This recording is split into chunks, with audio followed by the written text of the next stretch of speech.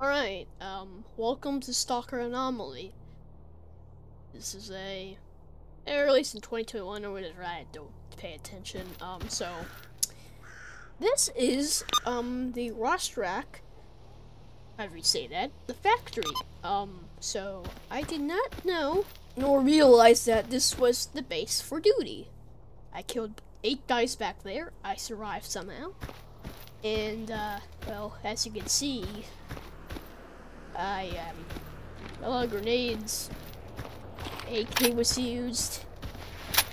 Um, I don't remember how I did all this. Um, one of them I think had an exosuit and LMG. There's a navigator.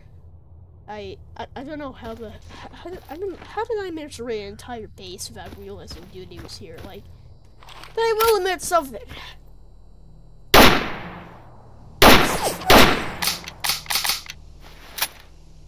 I,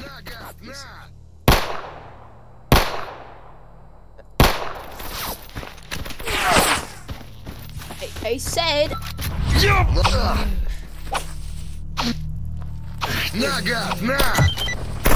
I'm pretty good at my job.